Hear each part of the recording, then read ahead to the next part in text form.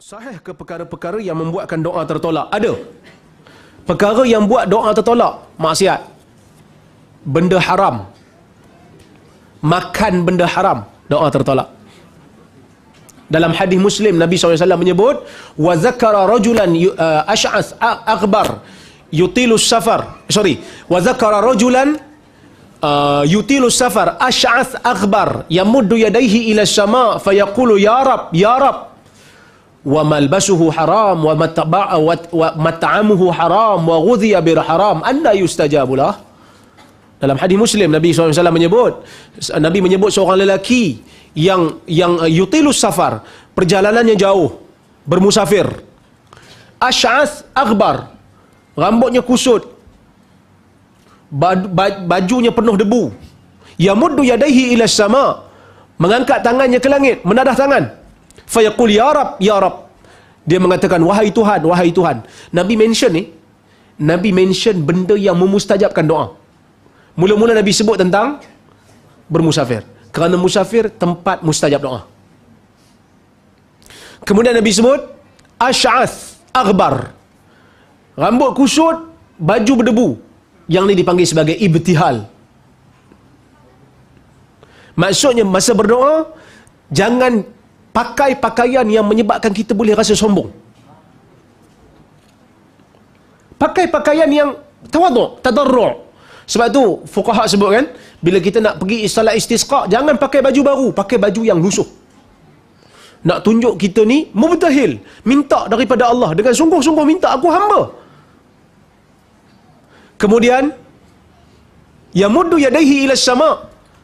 Tadah tangan, tadah tangan di antara uh, sebab untuk doa mustajab.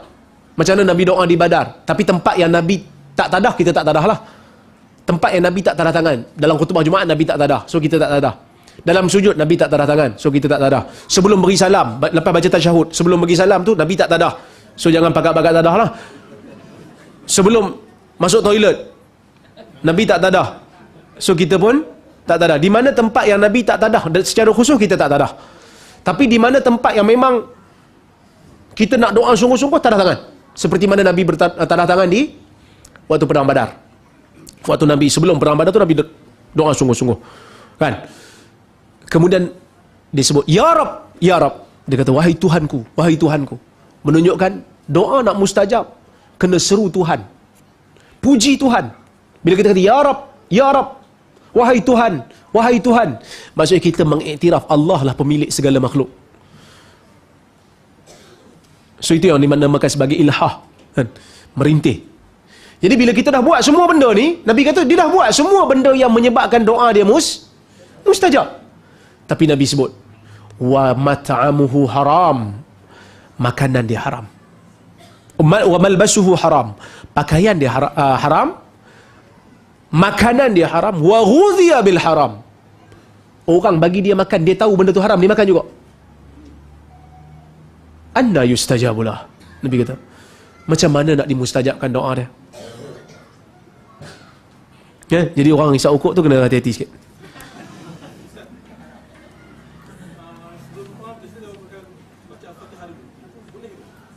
Baca Fatihah sebelum doa. Wallahu alam tidak ada riwayat yang saya jumpa.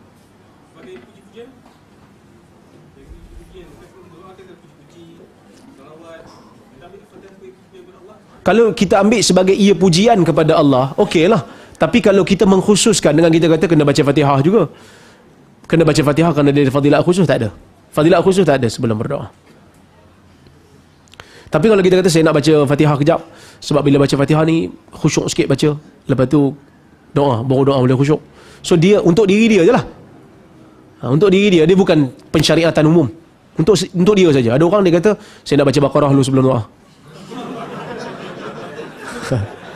so boleh juga kan